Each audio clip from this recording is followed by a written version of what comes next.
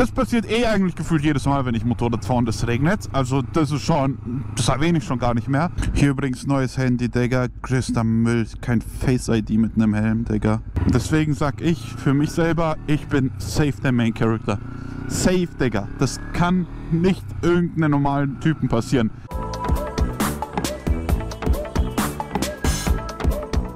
Guten Morgen, wie geht es euch an diesem wunderschönen Tag? Mir geht's eigentlich okay, nur es ist viel zu kalt, Digga. Also ich weiß nicht, wie das Wetter irgendwo anders ist, aber in München ist es eine einzige Katastrophe. Wann habe ich angefangen mit den Videos jetzt? Vor einem Monat? Oder vor einem Monat war es ja ein bisschen kalt so. War unangenehm, aber man konnte fahren.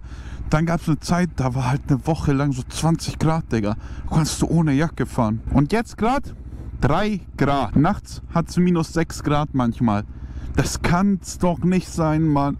Der von zwei Wochen oder so war 20 Grad, richtig geiles Feeling und jetzt musst du wieder die Winterjacken rausholen. So, was machen wir heute? Ich muss die Arbeit fahren, deswegen bin ich auch überhaupt unterwegs. Oder besser gesagt, ich habe kein Video aufgenommen, weil ich so viel Arbeit hatte und ich habe erst seit gestern frei jetzt wieder, oder was heißt frei?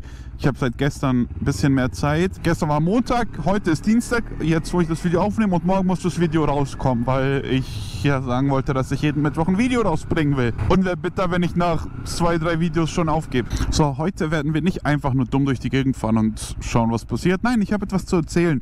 Und zwar, ich will euch erzählen, warum ich denke, dass ich der Main Character bin. Ich höre mich jetzt an wie ApoRed wahrscheinlich. Ist, glaube ich, normal, wenn man einfach der Main Character ist. Also jetzt nicht im positiven Sinne, sondern absolut im negativen, weil gefühlt läuft absolut gar nichts bei mir. Oder was heißt, es läuft nicht gar nichts bei mir. Wenn eine Sache schief läuft, dann ist es komplett Katastrophe. Dann läuft auch alles andere danach schief. Bestes Beispiel jetzt die Zeitumstellung. Die Zeit wurde eine Stunde vorgestellt, das heißt so viel wie ich musste eine Stunde früher los von zu Hause. Was bedeutet das? Ich musste losfahren, genau da wo ich losfahre, fängt es an zu regnen. Und es regnet nicht ein bisschen. Es schifft aus Eimern, Digga. Und ich habe hier kein Auto, wie wir seit zwei Videos wissen. Danke nochmal an die Typen, die den Cut geklaut haben. Ich auf jeden Fall fahre da durch den Regen, Digga. Halbe Stunde, 40 Minuten zur Arbeit, komm irgendwie an.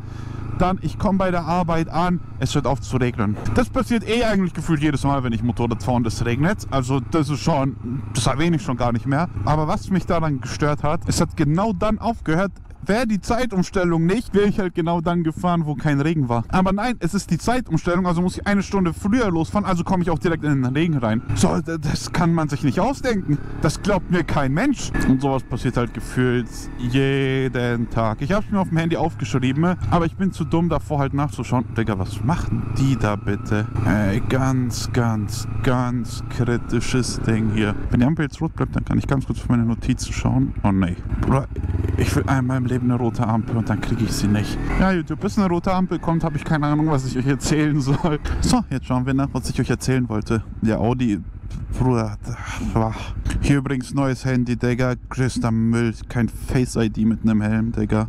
So, nach dem kurz taktischen Zwischenstopp weiß ich wieder, was ich euch erzählen wollte. Noch ein paar Situationen, wo genau sowas passiert. Es war ja jetzt vor einer Woche sowas, weil dieser große deutschlandweite Streik, wo die Öffis nicht gefahren sind.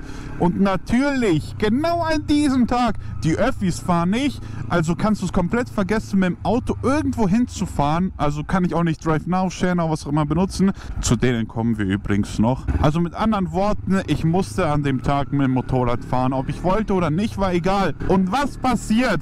Wir haben es fast April, wir haben Ende März, Anfang April. Es schneit.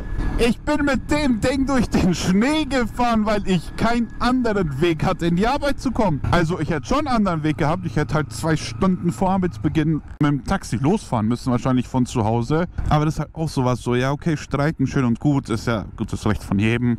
Aber Bruder, es kann doch nicht sein, dass dieser eine Tag, wo die streiken, wo dann gar nichts mehr auf einmal fährt, genau das schneit Genau an diesem Tag schneit es.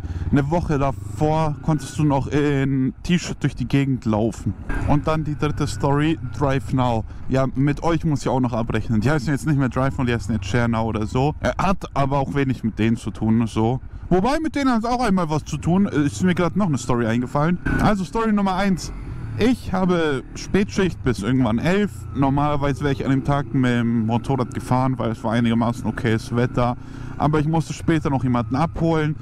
Also habe ich gesagt, komm, ich fahre mit dem Drive Now hin und dann am Abend fahre ich mit Drive Now zurück. Dann am Abend, ich will zurück, ich gehe zum Auto, ich habe E-Netz. Erstmal wieder absolute Blamage für Deutschland, Bruder, dass du in Deutschland überhaupt E-Netz haben kannst. Und dann noch mitten in München, in einer riesigen Stadt, Digga, dass du da nicht überall wenigstens LTE als Abdeckung hast, ist halt absolutes Armutszeugnis, aber ganz, ganz andere Geschichte, Digga. Auf jeden Fall der eine Tag, wo ich nicht mit dem Bike fahre, sondern ich fahre mit Drive Now, weil ich jemanden abholen muss. Das heißt, ich habe auch keine Zeit. Ich bin beim Auto, ich konnte ja reservieren über WLAN, bin ich losgegangen, dann komme ich beim Auto und ich kann das Auto nicht entsperren, weil ich ja kein Internet habe. Digga, es, es war so schlimm.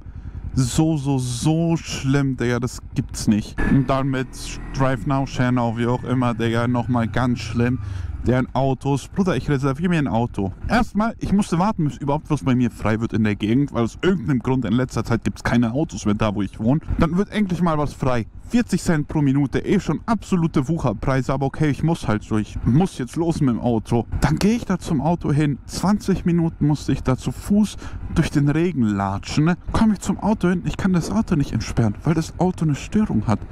Dann durfte ich nochmal eine halbe Stunde durch die Gegend latschen um zum nächsten Auto zu kommen. Wo ich mir auch dachte, Bruder, ich bin jetzt 50 Minuten zu Fuß gegangen, ich hätte auch zu Fuß dahin gehen können. So. Danke an der Stelle nochmal. Natürlich war ich da auch absolut im Zeitstress, so weil ich muss halt pünktlich da sein. Also ganz schlimm. Ganz, ganz schlimm bei mir. Deswegen sag ich für mich selber, ich bin safe der Main Character. Safe, Digga. Das kann nicht irgendeinem normalen Typen passieren. Hier ist ja auch eine Baustelle. Bruder, die komplette Stadt ist eine Baustelle. Es ist so schlimm zu fahren. Es ist nicht normal. Also es geht mir richtig auf die Eier. Wenn ich irgendwo hin muss, selbst mit dem Motorrad, habe ich schon keinen Bock mehr. Mit dem Auto, Bruder, ich, ich würde einfach sagen, nee, ich komme nicht. Punkt, Schluss aus. Digga, was machen die denn hier? Gut, kann man sich eigentlich seit zehn Jahren fragen, seitdem die Baustelle hier ist. Ach, hier ist ja auch Verkehrschaos, Digga. Boah, warum tue ich mir das überhaupt an, Mann? Ja, YouTube, ähm, ich glaube, ich würde mich hier eh nur aufregen mit dem hier. Kannst du ein bisschen noch vorfahren, weil kann ich mich hier durchfiltern, Brudi.